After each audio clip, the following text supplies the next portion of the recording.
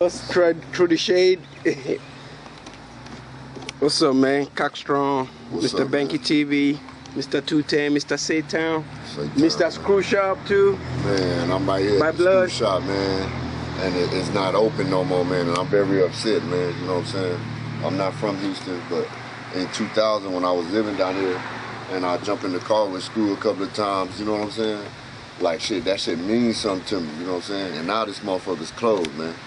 And shit, man, I ain't got too much to say, but shit, man, I hate to see this motherfucker closed, man.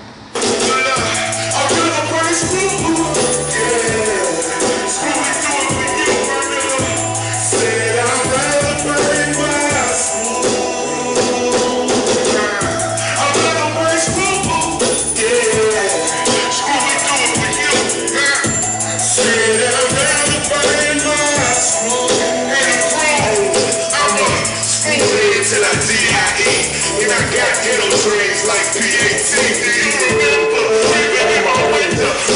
September. In the winter.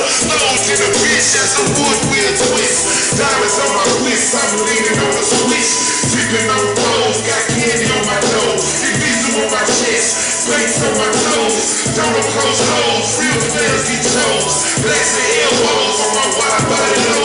June 27th, who's next with Bliss? I'm a Southside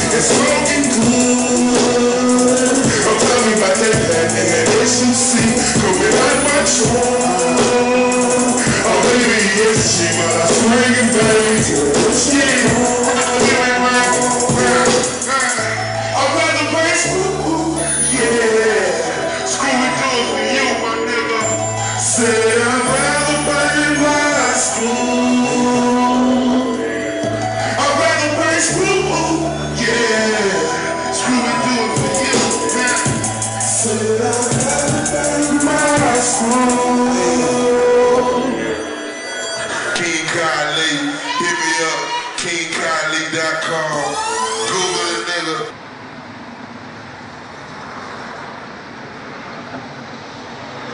That is, and if you can see, everything gone except the muddy cup. You know what I'm saying? Screwed, man. You know what I'm saying? To to bring light to a sad situation. We not saying that the screw shop is gone. It's a brand new screw shop. You know what I'm saying? Go Yeah, holler at Red, go holler at. Randy. You know what I'm saying? But this is the historic spot. Man, that new When, stuff. when you think of all of the, like I was saying earlier when Koc Strong was saying about the old location, it's still hope because the new spot. Come by and holler at Red. Come by and holler at Randy. You know what I'm saying? Come get the inventory. Niggas still out here doing their thing, man. You know what I'm saying? It, it ain't dying. You know what I'm saying? It's still going down out here in the H, man. And he can't tell you what side of town it is. The loud sitting right down the street. What that tell you? DJ Banky. We're right here, Banky TV. Whatever y'all want to call me, call me DJ Banky, you call me Banky TV. I be confusing people forever. They don't know what to call me really, but I'm right here. Memorial Day weekend. Strong. Still mad right now because they switched the screw shop around.